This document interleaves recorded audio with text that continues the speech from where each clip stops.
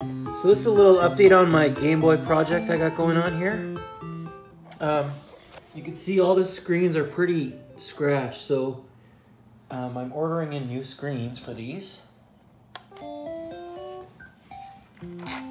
This one here is super yellow, and the screen is brutal in that.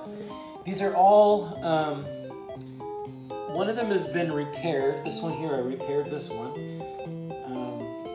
So the screen is really nice on that one. But these are all broken. Um, they all have something wrong with them.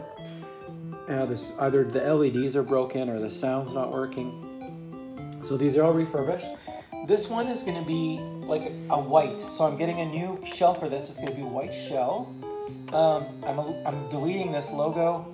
And this is also going to be a white screen. So it won't be gray on the board. It'll be white. So it'll be a beautiful white. And these will be clear buttons, so I can't wait to see that.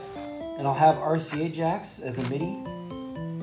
Um, I'm also planning on making them LED, but I don't know. That's they're all the LED stuff is out of stock. And this one's also going to be teal, teal green, and it's going to have a glass, a glass screen on it.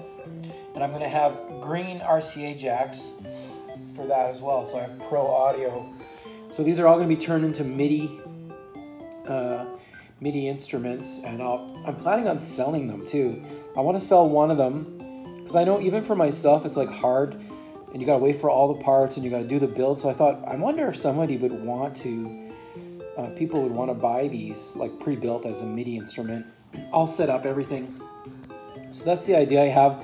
It is going to be pretty pricey, you know, um, because of all the work and all the parts involved um, to turn it into a MIDI instrument. So I don't know. We'll see.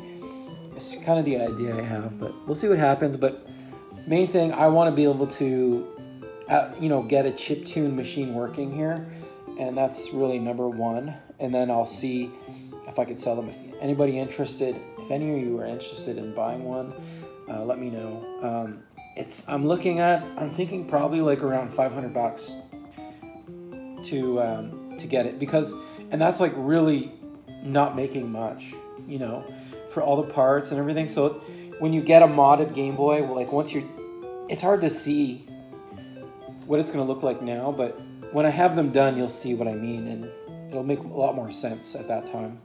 So anyway, let me know what you think, and I'll uh, I'll update soon. Thanks.